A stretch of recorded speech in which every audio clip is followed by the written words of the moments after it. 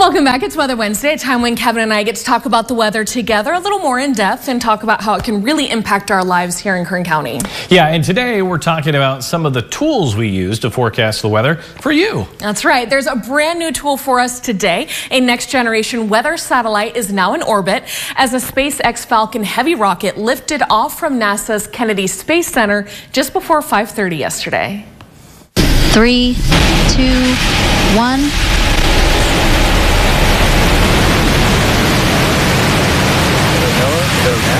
Go, go, you. All right, leave it to SpaceX. The rocket roared into space carrying a powerful GOES-U weather satellite. It's the fourth and final satellite in the National Oceanic and Atmospheric Administration's GOES-R series. GOES stands for Geostationary Operational Environmental Satellite.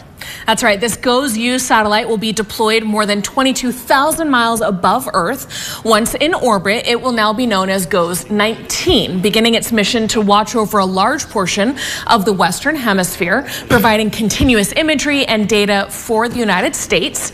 The GOES-R series provides critical atmospheric, hydrologic, oceanic, climatic, solar, and space data, significantly improving detection and observation for environmental phenomena that directly affect public safety, protection of property, and our nation's economic health and prosperity. All right, let's bring this back to Earth for you Mm-hmm. and show you kind of the tools we use. So here's a look at a Pacific satellite. We talked about this earlier, and you know the H stands for high pressure, the low for low pressure. And as forecasters, we actually put these on the satellite. It doesn't Mm-hmm. come pre-made for us. We have to look at the data and uh, basically tell you what's going to be happening. So during the day or the morning when I get at 3:30, I can change the type of satellites that we look at. So here is a little image. So this is a menu that I can choose from, or Lena when she's filling in. Uh, and you can see where it says uh, the type, IR, stands for infrared. We also have visible satellites, which is only able to be looked at